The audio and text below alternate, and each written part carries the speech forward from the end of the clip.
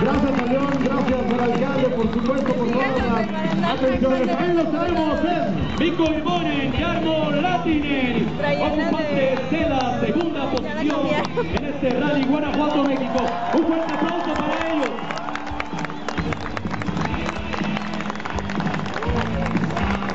Hey, Rico, how are you?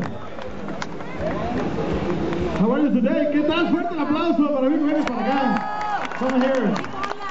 Wow, always fighting for the first two and third place.